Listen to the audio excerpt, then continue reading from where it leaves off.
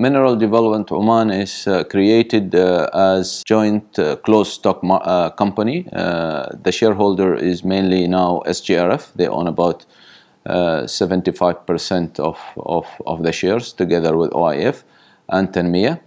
Uh, the company is created uh, or was created to contribute or uh, in the development of the mining sectors. Uh, so basically, we are working with investors, serious investors, to develop uh, the mining sectors. At the moment, we are looking at almost seven commodities. those are copper, chromite, limestone, gypsum, dolomite, gabbro, and silica. Uh, we have um, at least at the moment two of our projects at a very very advanced stage one of them in the uh, tendering stage. We finished the feasibility study and the other one is we are uh, we just finished the feasibility study and we are now in the process of getting the mining license.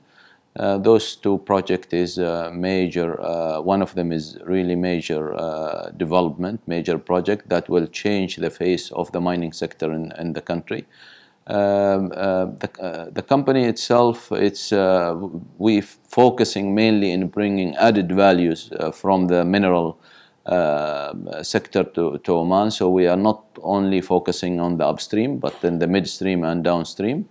And that is, uh, that is the main, main focus of the company to bring values to the countries, create opportunities for SMEs, create uh, job opportunities, uh, meaningful job opportunities for the Omani uh, people. Uh, in terms of, uh, of, uh, the mining sector, I would suggest that more effort is put to ease the licensing process.